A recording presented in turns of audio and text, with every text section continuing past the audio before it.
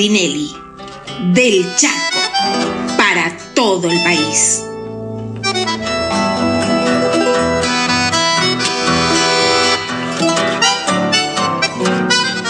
Y ya estamos en la provincia del Chaco, donde no sé qué temperatura habrá, pero siempre tenemos una amplitud térmica entre Buenos Aires y Chaco muy grande, pero como el calentamiento global cambia todo, vaya a saber qué temperatura y cómo está, pero seguramente estará muy bien nuestro querido compañero Mempo Giardinelli. ¿Cómo te va, Mempo? Buen día. ¿Qué tal, Picone? Un gusto. Buen día, buen día, Federico, buen día a todos y todas. Aquí con una lloviznita, lloviznita leve, frescando un poquito, pero que si no sé, no, no deben hacer unos veintitantos grados, este, con una lloviznita amable, bien, este, así que y yo viendo mi hija se iba a ir ahora al, al impenetrable, al, al, parque, este, y ahora veo que está dudando porque por la llovizna precisamente, porque los caminos si no, si llueve, está muy difícil. Así que bueno, pero bien acá escribiendo, trabajando, picones, leyendo, como siempre, ¿no? Nuestras vidas son vidas ya predeterminadas en ese sentido. Yo además ahora como como candidato. Como candidato.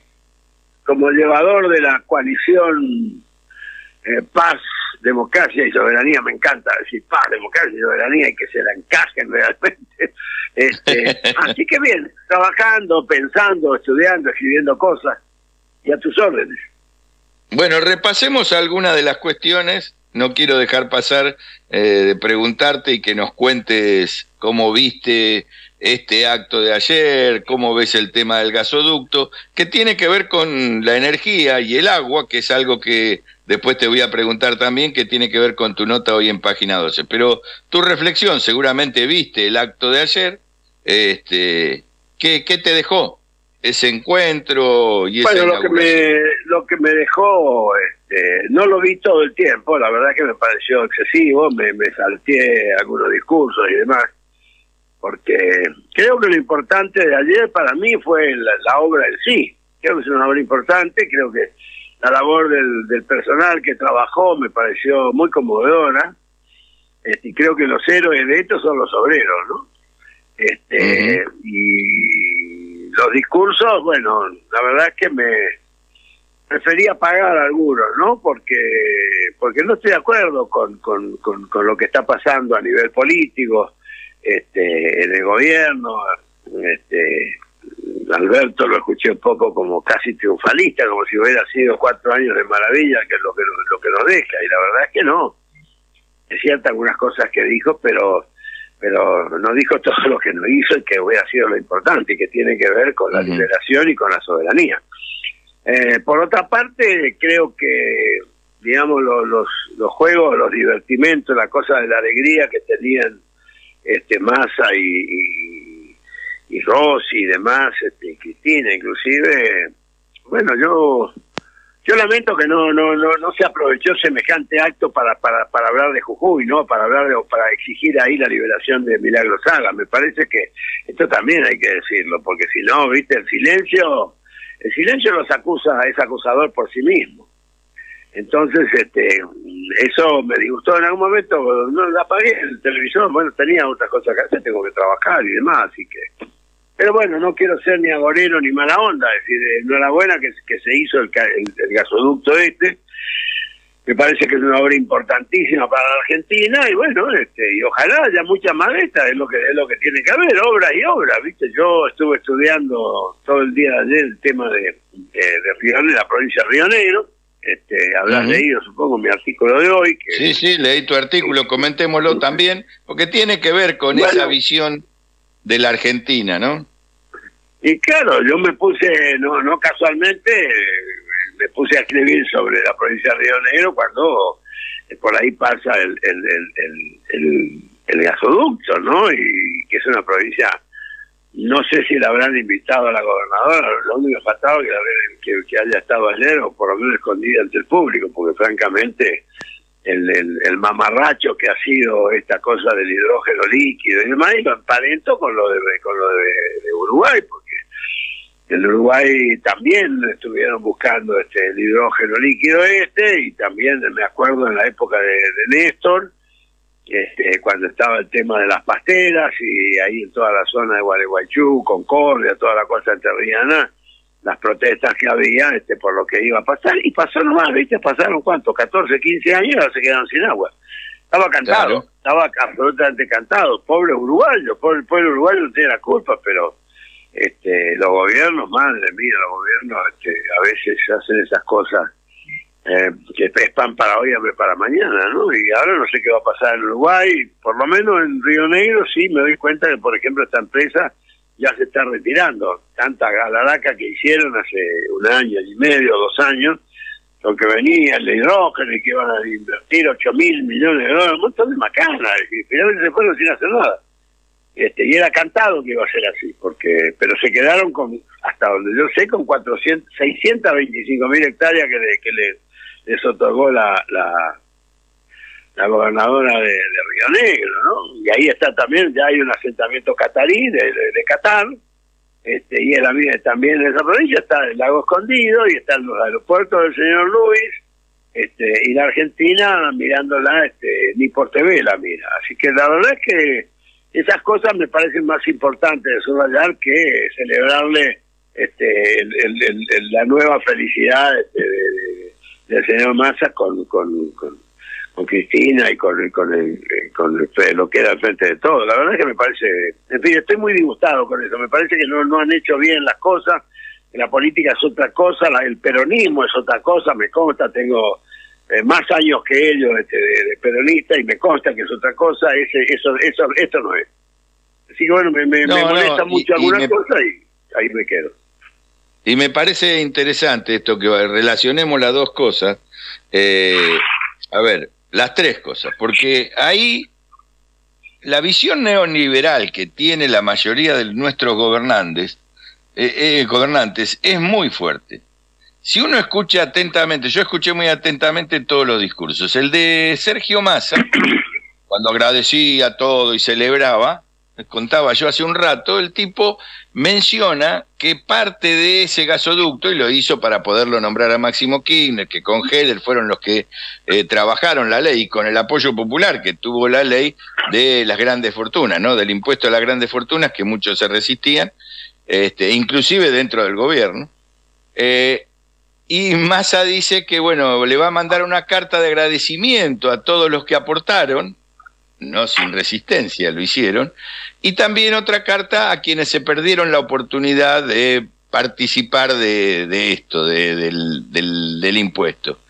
Y Cristina, que yo creo que es más peronista que Massa, obviamente, porque Massa no es peronista, le dice, no, no, y les vamos a cobrar. Eh, digo, hay diferencias que yo creo que estos son los errores que comete Cristina, por no conducir y no asumir la conducción, como dijimos todos, vos también lo dijiste, antes de presentar tu candidatura, que si hubiera sido Cristina seguíamos discutiendo adentro. Lo que pasa que al no ser ella, se inhabilita el debate y la participación, pero a ella le rescato esto, le dijo, les vamos a cobrar, o sea, ella tiene una voluntad de cobrarle a, a aquellos que no pagaron porque hay que judicializarlo. Digo, pero Massa lo deja pasar. Y el otro tema es que tanto Fernández como ella y Massa hablaron de que ahora vamos al norte y el gas que se va para el norte y a Bolivia y las provincias del norte, donde está el litio. primero, que, primero que intervenga la provincia, primero que intervenga la provincia. no, pero ensalzaron que ahí está el litio y no se atrevieron a decir que un litio manejado en el caso de Cocuy por prácticamente un dictador como es Gerardo Morales, no dijeron una sola palabra. Una sola, exactamente. Bueno, eh, y vamos a seguir con esto? Con, la verdad es que a mí me, me, me, me invita. Proponemos otro tema que, no me No, no, vamos a seguir, vamos, vamos a ampliar un poquito el tema que vos decís, porque vos fuiste uno de los pocos que cuando se quiso celebrar ese acuerdo, se celebró ese acuerdo entre una empresa australiana del oxígeno verde, también se hicieron celebraciones.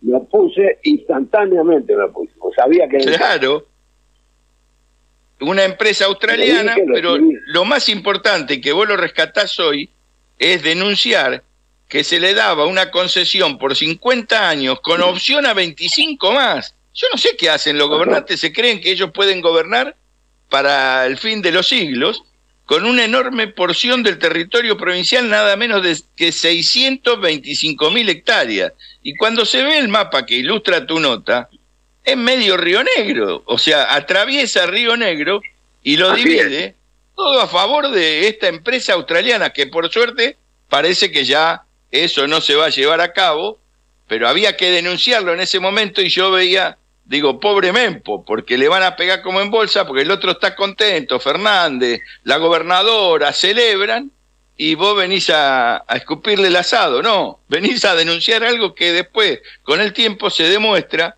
que había que hacer, que no había que hacerlo, que era una entrega. Y hay, algo, y hay algo más, y hay algo más, Picón, y es que las 625 mil hectáreas que le cedieron a esa compañía, yo estuve buscando todavía, no pude encontrar, no pude encontrar qué pasó con esos, esos, esos 625 mil hectáreas, es una enormidad, una enormidad.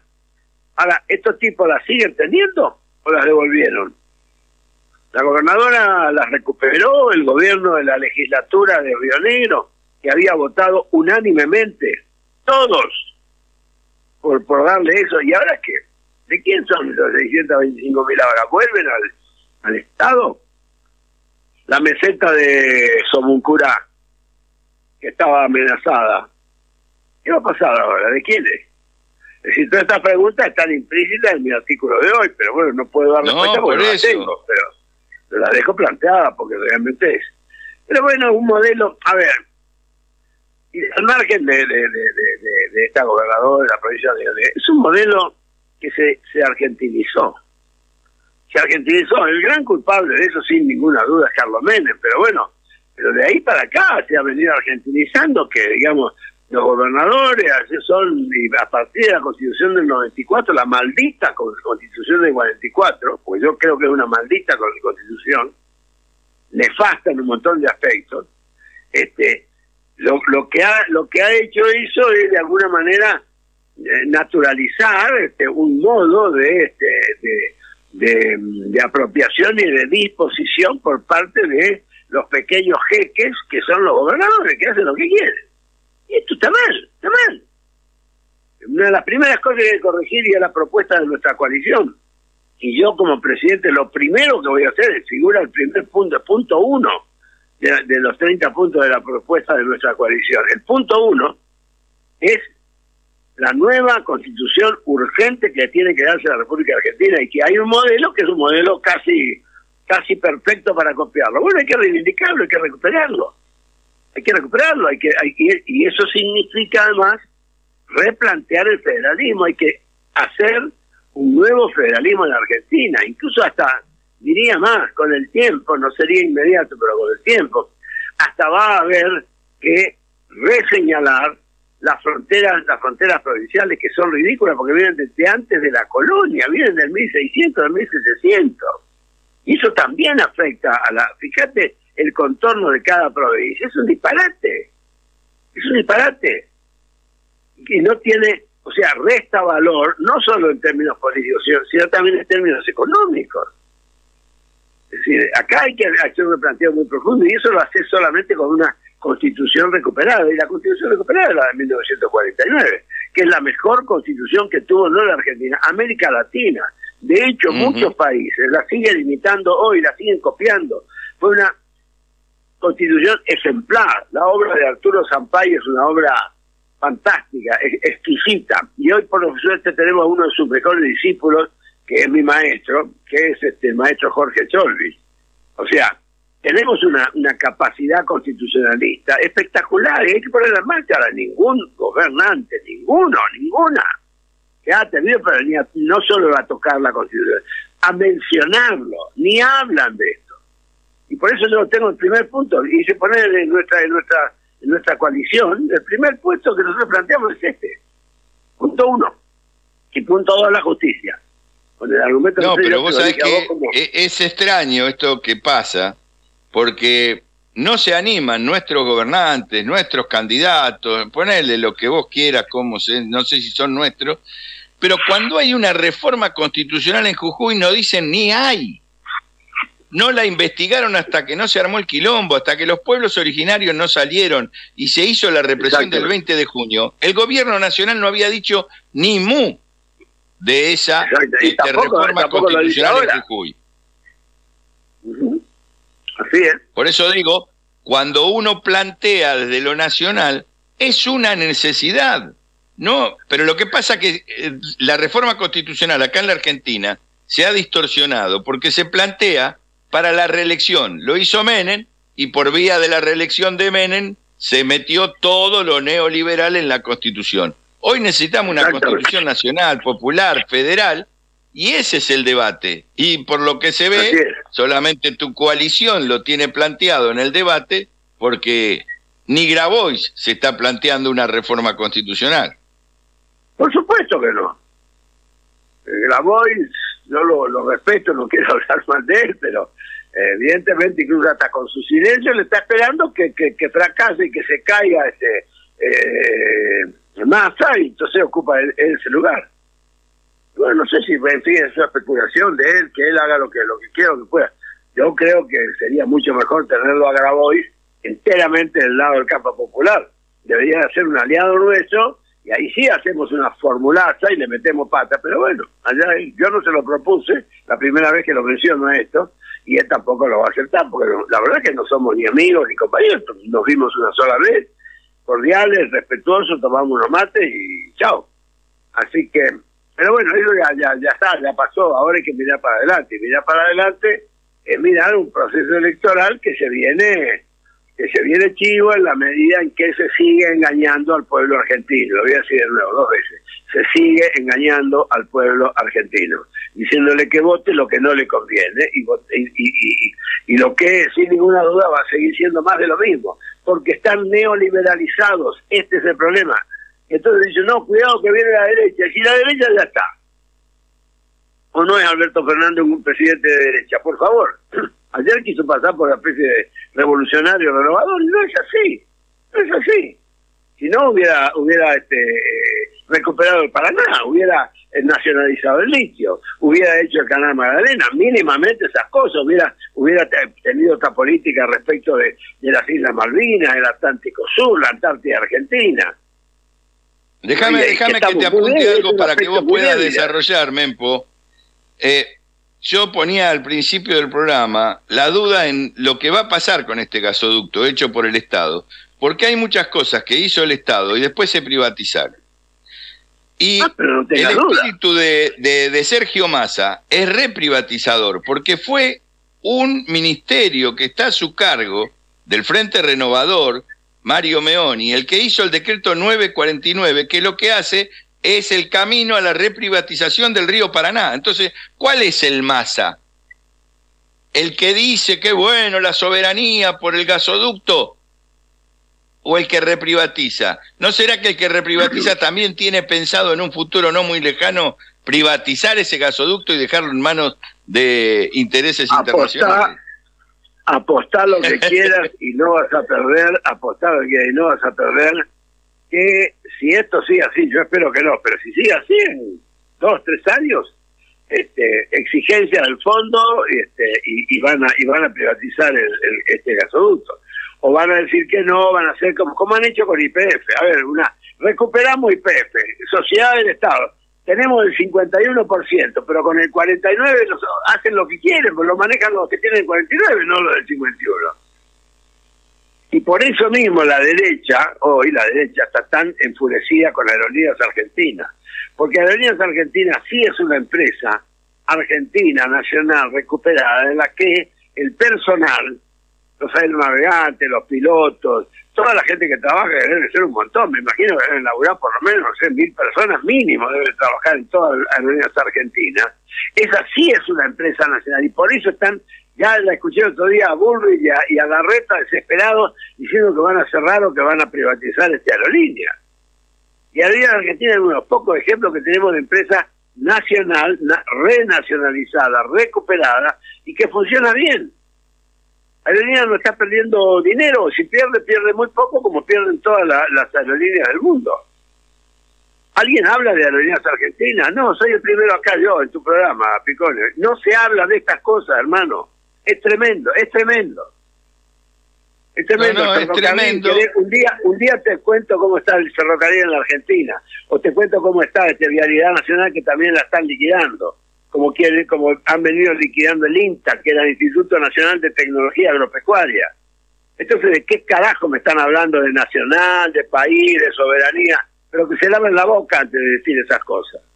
Y esto hay que decirlo, yo la digo, ¿sabes qué? Yo de la edad que tengo, yo no me guardo estas cosas, las digo con toda verdad y franqueza. Y el que no le gusta que venga me lo discuta.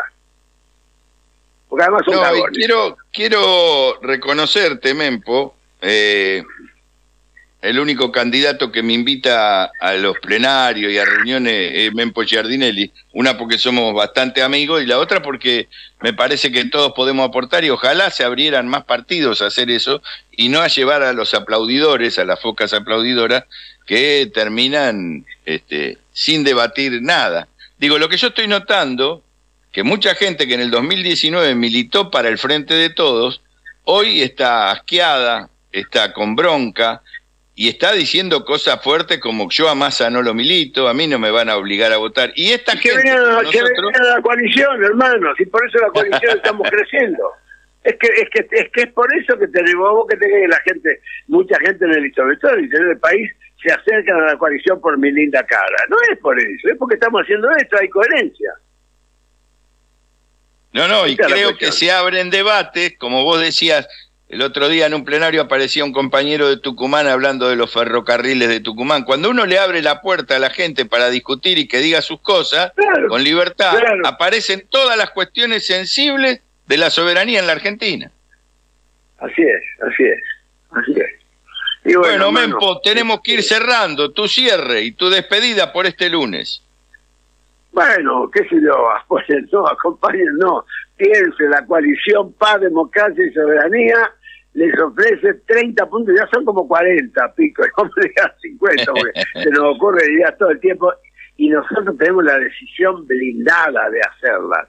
Nosotros sí que vamos a hacer las cosas que prometemos. En eso, este, que me, pero mira, yo miro a los ojos a cualquiera y se lo digo, ¿sabes qué? Y a otros se les cae la se les cae la, mirada cuando te miran. Es así, es así. Desgraciadamente es una cuestión también de calidad humana, que ha entrado mal a la política y que, bueno, la trajo, obviamente la trajo Carlitos Meo, la trajeron los dictadores. Y Menem fue el gran hijo directo de la dictadura.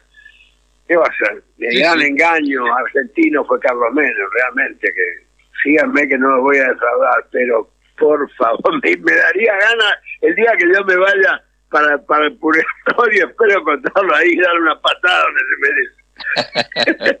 Pero bueno, vamos a ver. Bueno, Mempo, muchísimas gracias. Acá hay un oyente dice, por eso tenemos que mostrarle en las pasos que va a estar vigilado. Calculó que lo dice por masa. Mucho más que el Albertito. Y si chocan los planetas, no los necesitaremos. Buen día, nos saluda escuchando nuestro debate. Un abrazo, Mempo, hasta la semana que viene. Gracias, gracias, este, Te mando un abrazo grande, también a Federico, a todo su equipo ahí. Chao.